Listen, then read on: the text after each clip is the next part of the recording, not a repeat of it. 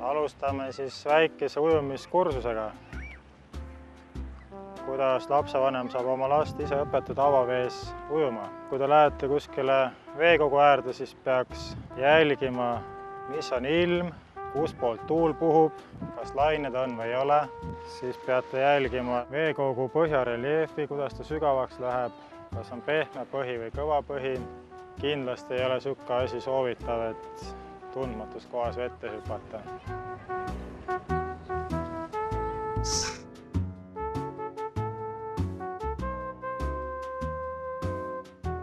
kõnnime kolm sammu vasakule poole.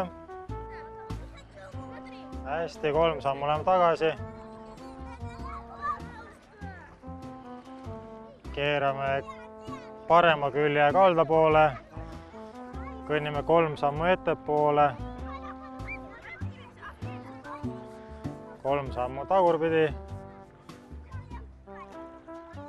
kõnni kolm sammu edasi, tõmba kätega kaasa.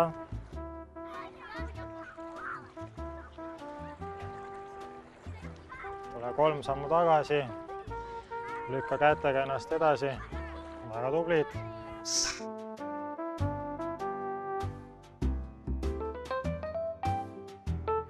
nüüd võid rahulikult kükitada õlgadeni vee alla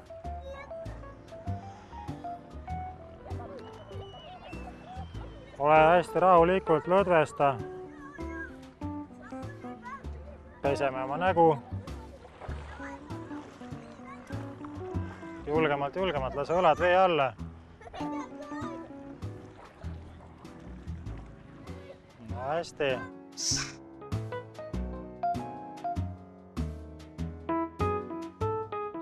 nüüd proovime puhuda. põsed punni, huuled torusse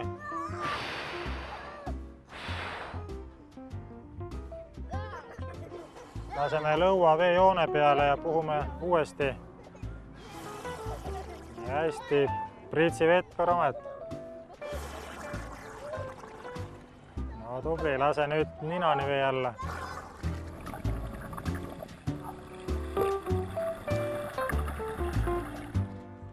teeme nüüd nii, et hüppad kükist püsti, kükitad uuesti vee alla ja puhud mullid ka vee alla. hüppad kukud vee alla.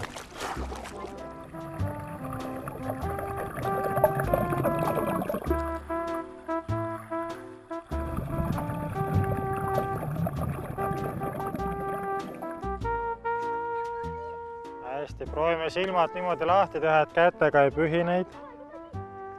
pilgutab paar korda silmi, saad silmad lahti. panna käed pea peale, puhu uuesti mulje, mine üleni vee alla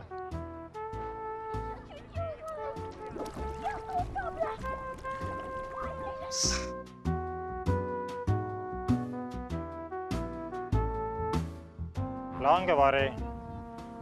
paned jalad natuke harki, hoiad jalad sirged, sirgete kätega võtad hüppeliigesest kinni. lõua paned rinna peale ja loed viieni. selle ajaga sa tuled vee peale, jääd vee peale kiikuma, et su selg on juba vee peal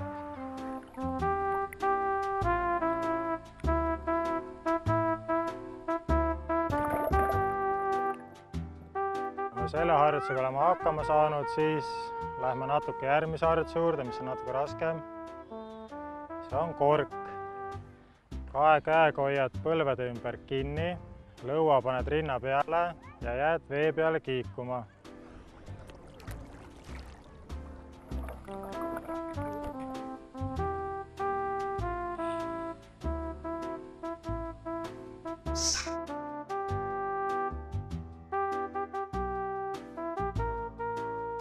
Kaks kätt ette, kummardad ette, tõmbad kopsud õhku täis, hoiad hinge kinni ja tõstad ühe jala vee peale.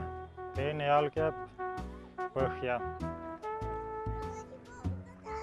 proovime koos teha.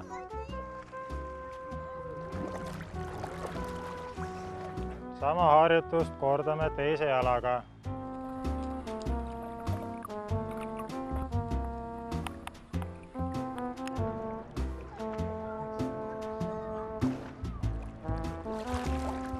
sama harjutust ja proovime tõsta teise jala ka ülesse. et jäävad kaks kätt vee peale ja kaks jalga vee peale. käed on laiali, jalad on harkis. oled täiesti sirgelt, lased ennast kõhu peale ja selles asendis jääd vette lamama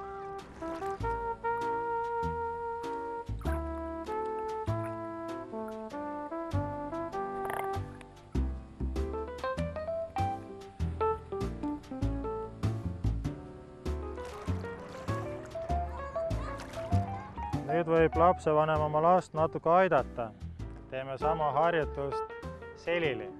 võtab kukla alt kinni peast, käed üle pea üles, lõua lükkad hästi üles, jalad paned harki ja jääd vee peale seisma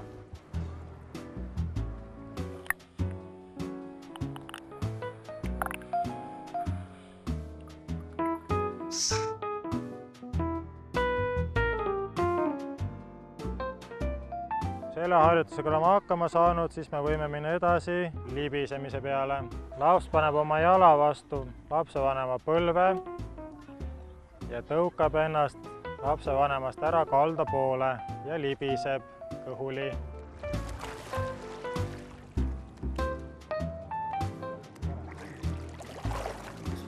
proovime sama asja selili ka. alguses võivad olla käed külje peal ja lõug hästi üleval, libised selili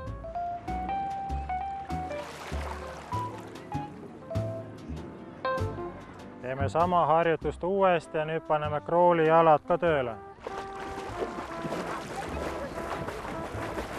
hästi, nüüd, nüüd proovi puhuda vaikselt. jalad töötavad.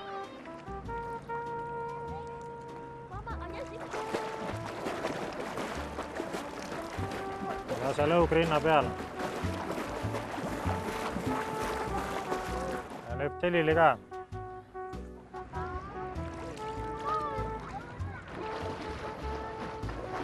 lükka lõug ülespoole. no juba parem. tõukad, libised ja krooli jalad töötavad. käed ette, pea on käte vahel.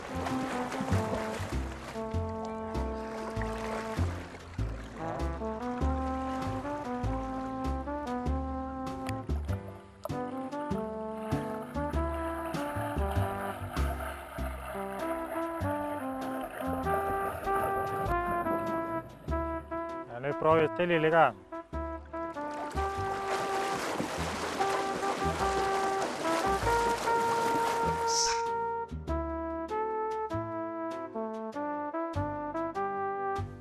kui libisemine on selge, jalad on ka selged,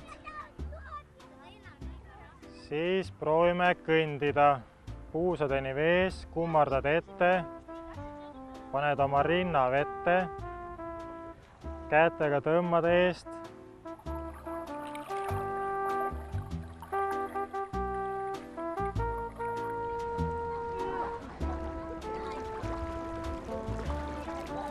proovid, kuidas käed töötavad, kas tõmbad ennast edasi ja proovid puhuda ka.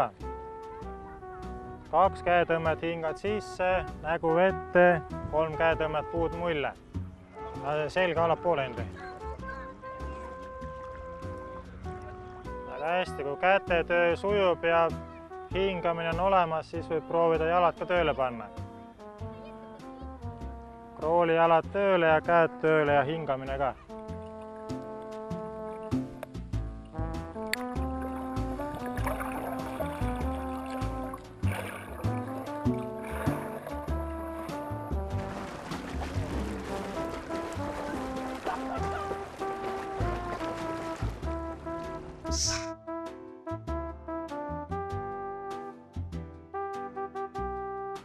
Me seisame jälle puusadeni vees.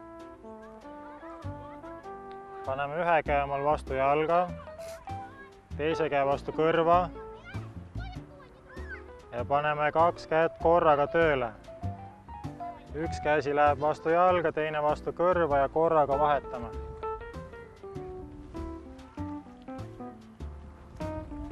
üks käsi vastu jalga, teine vastu kõrva ja korraga vahetab. peopesa võid keerata endast väljapoole. väike näpp läheb kõige ees vette. ja siis korraga vahetame käsi.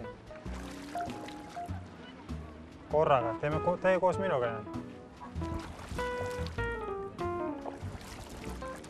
käsi läheb selja tagant alla. nüüd keerame selja kalda poole. Laseme ennast rahulikult selili, paneme selili jalad tööle kui sa juba tunned, et oled vee peal ja jalad viivad sind edasi, siis proovi panna käed ka juurde.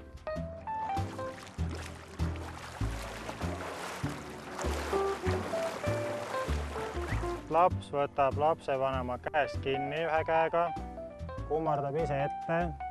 alustame sellest, et seisad püsti, hingad külje pealt sisse, paned näo vette, puhud mulle hingad külje pealt sisse, paned näo vette, puhud mulle.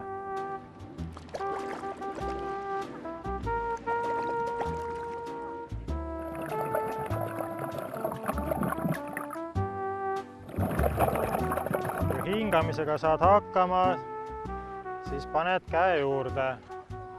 Käsi on taga, hingad külje pealt sisse, paned käe ette, nägu vette ja puud mulle ja viid samal ajal käe taha sirgeks.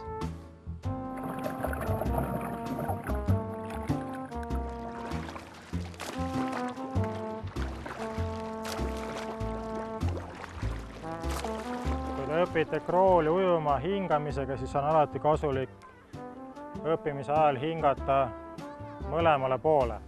ja nüüd võib proovida lihtsalt, et paned näo vette ujud kolm tõmmet krooli ilma hingamata esialgu.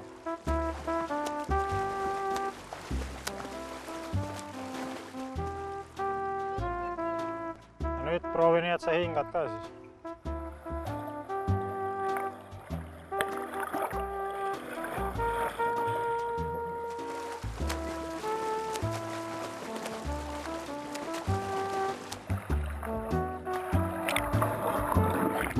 avaveekogus, kui te õpite krooli ujuma, siis võib kasutada tavalist plastpudelit, mis on õhku täis ja kork on peale keeratud. panete sinna ette, hoiate pudelist kinni ja proovite alguses ühe käega seda ujumist. ja siis teise käega ja siis lõpuks panete pudeli ära, panete mõlemad käed tööle.